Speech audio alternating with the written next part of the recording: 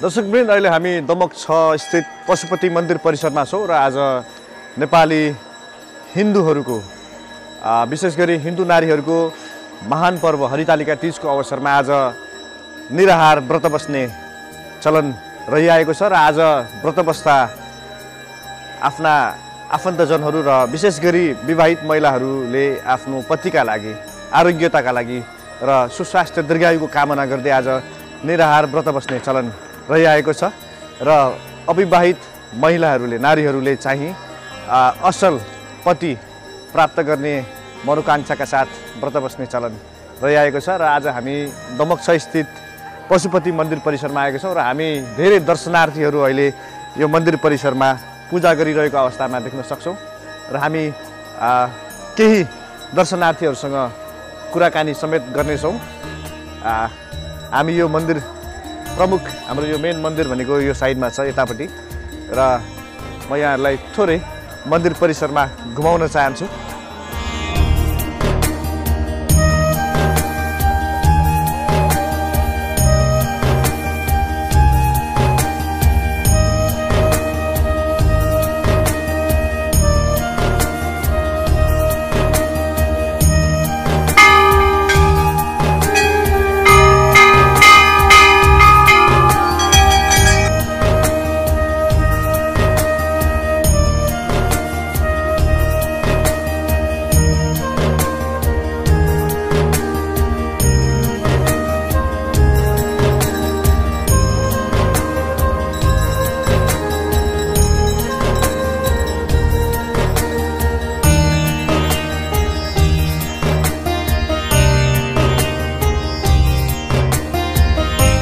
अहिले हामी सबै नै आ, दमक्स स्थित पशुपति मन्दिर परिसरमा छौँ र यहाँ दर्शनार्थीहरूको भिड बढिरहेको मैले महसुस गरेको छु।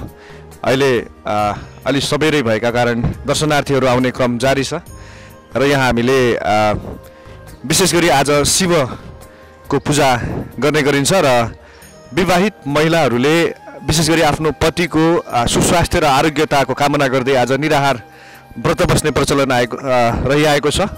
र यो गहिरो जनविश्वास सम्पूर्ण हिन्दू नारीहरूमा रहेको छ। आज महिला मात्रै नभएर पुरुषहरू समेत व्रत बस्ने प्रचलन रहिआएको छ र महिला पुरुष दुवै समान रूपमा चाहिँ व्रत बस्ने प्रचलन त्यो संस्कृति बिस्तारै विकास भइरहेको मैले महसुस गरेको छु। अहिले हामी माझ एकजना दर्शनार्थी यहाँ हुनुहुन्छ सर नमस्ते। आजको यो व्रत यहाँ पनि बस्दै हुनुहुन्छ? बसेको छैन। हो? हजुर दर्शनको लागि आउनुभयो हस् थ्याङ्क यू यहाँ दर्शनार्थीहरूको घुइँचो म देखिरहेको छु। सर नमस्ते। नमस्ते। आ, यहाँको यो पहिलोपटक हो व्रत? होइन हाम्रो त यो अब चार पाँचपल्टै भइसक्यो। आज यो व्रत यहाँ बस्दै हुनुहुन्छ। के सोचेर बस्दै हुनुहुन्छ? जस्तै तपाईँको मनोकामना। तिज भनेको श्रीमानहरूको दीर्घायु सुस्वास्थ्य होइन? त्यस- त्यसको लागि उहाँहरूको सबै काम सफलता पाओस् उहाँको दीर्घायु होस् भनेर हामी कामना गर्नको लागि हामी व्रत बस्छौँ शिवजीको पूजा गर्छौँ। यो चाहिँ मेन शिव र पार्वतीजीको पूजा गर्ने हो। र ऊ दुईजनाको आशीर्वाद लिएर हामी चाहिँ मेन चाहिँ श्रीमानतिरको श्रीमानप्रति हाम्रो माया होइन? प्रेम यसरी रहिरहोस्। उहाँको चाहिँ जे पनि जति छ सबैमा सफलता पाइरहोस् भन्नेको लागि हामी चाहिँ यो व्रत बस्छौँ। तपाईँलाई कस्तो लागिरहेछ? एकदमै खुसी लागिरहेछ हाम्रो लागि व्रत बसिदिनु भएको छ। एकदमै खुसी लागिरहेछ हस्। यहाँको मनोकामना पुरा होस् थ्याङ्क यू हजुरको शुभ नाम? मेरो पवन कुमार अग्रवाल हो। हजुर हजुर पनि व्रत बस्दै हुनुहुन्छ आज? होइन व्रत बसेको मेरो त डेलीको यो कार्यक्रम हो। ए शिवको पूजा गर्नुहुन्छ। डेली। आज व्रत किन बसिन्छ? आज वर्ष भनेको छोरी चेलीहरूलाई अब पति व्रत राम्रो पाओस् अरू पाओस् त्यही त हो शिवको आराधना गर्ने यही हो। थ्याङ्क यू धन्यवाद।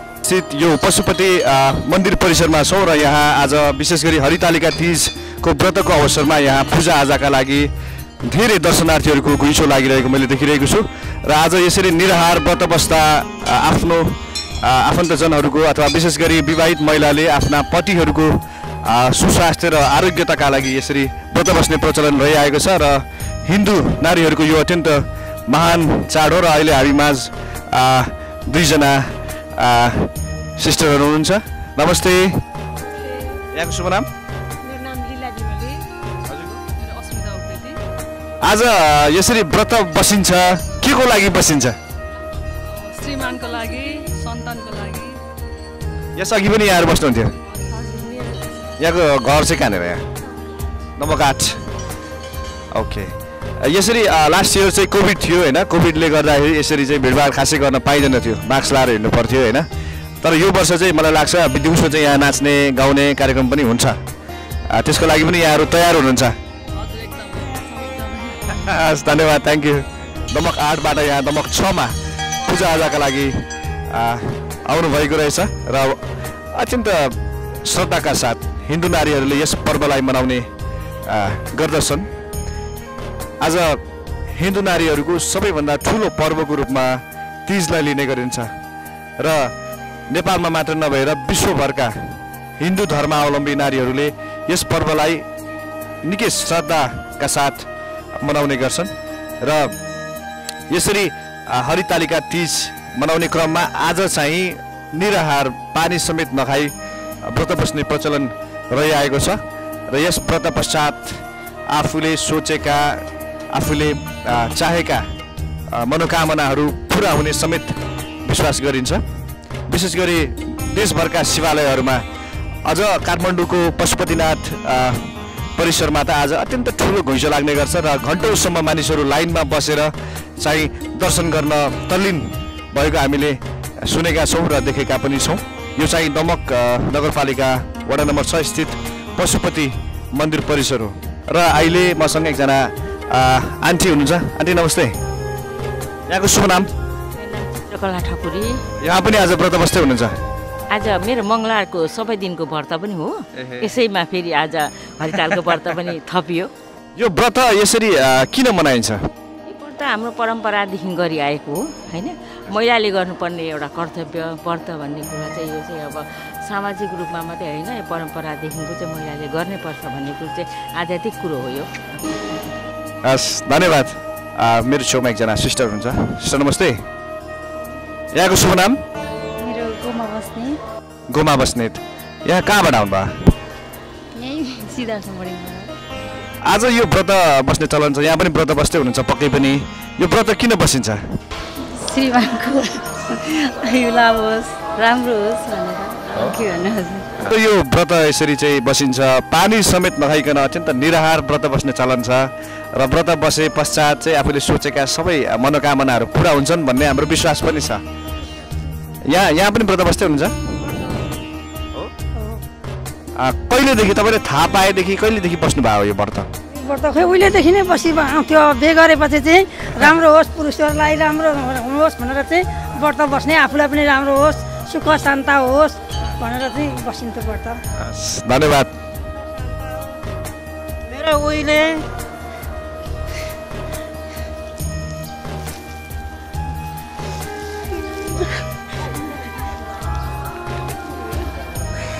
यहीँबाट विवाह भयो। हजुरको। घर चाहिँ कहाँनिर आन्टी तपाईँको? मेरो घर इलाम इला छ। इलाममा भटार यो मेरो यो पहिलो विवाह भइकन यो पहिलोपल्ट आएको म यहाँ। हजुर। धेरै वर्ष विवाह। मेरो श्रीमान बितेको। तिन वर्ष भयो।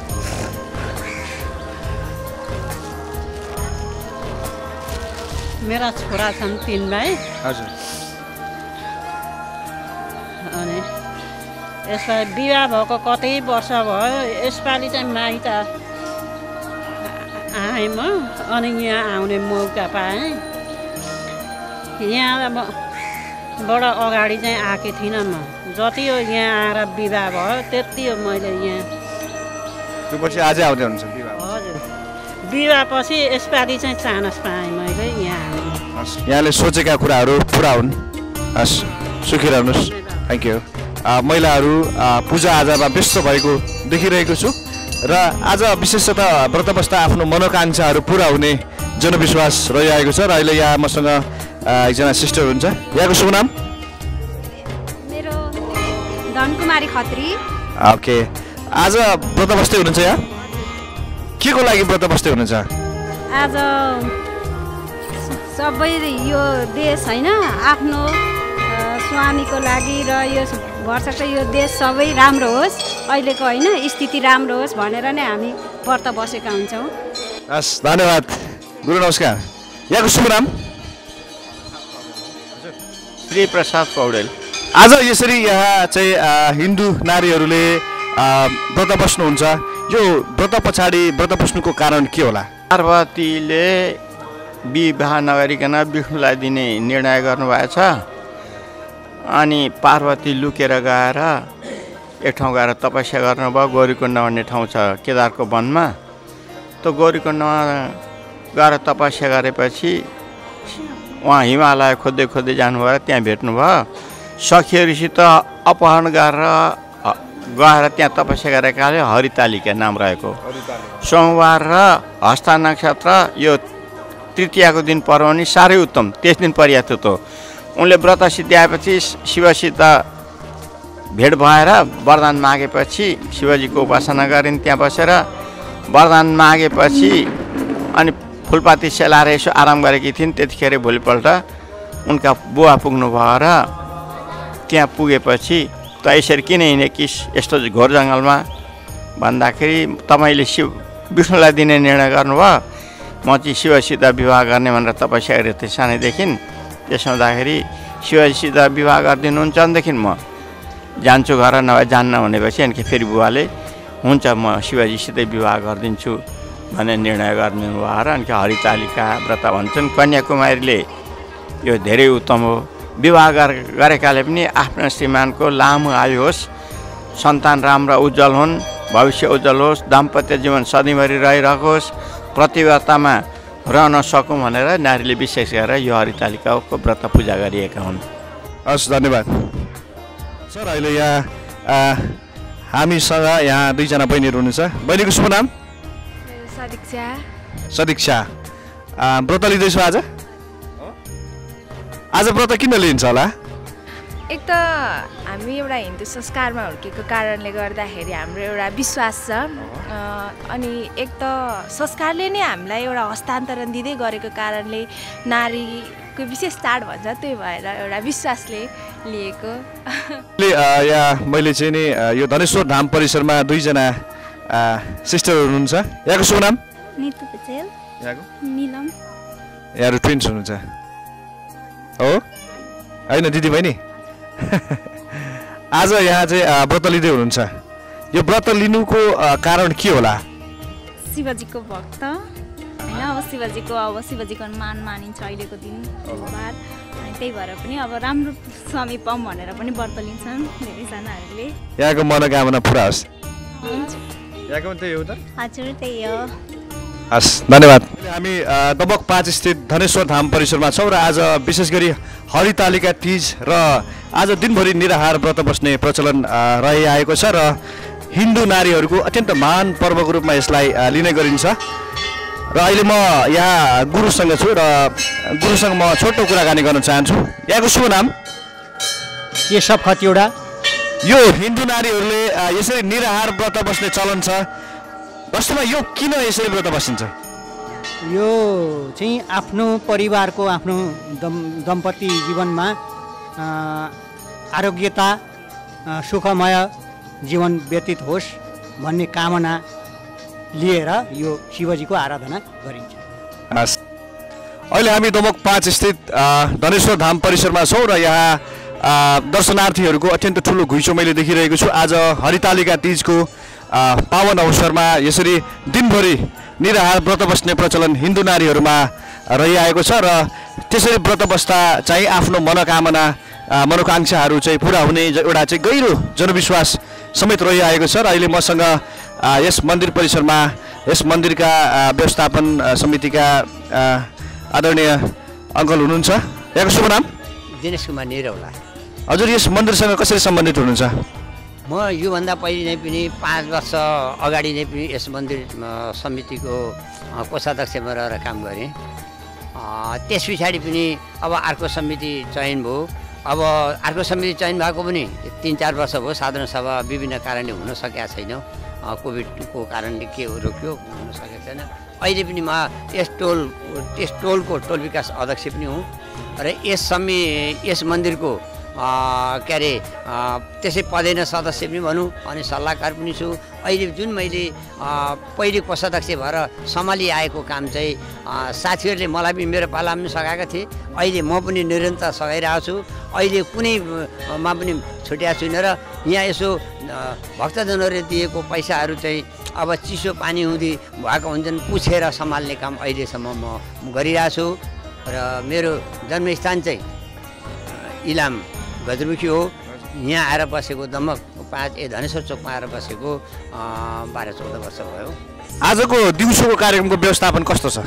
आजको दिउँसोको कार्यक्रमको व्यवस्थापन चाहिँ अब जस्तो महिलाहरूको विशेष चाड हो उहाँहरूलाई उहाँहरूको उसमा चाहिँ हामीले एउटा सामान्य कार्यक्रम पनि गरेका छौँ जस्तो तिज विशेष कार्यक्रममा चाहिँ जस्तो उत्कृष्ट हुनेहरूलाई हामीले पुरस्कारको व्यवस्था गरेका छौँ।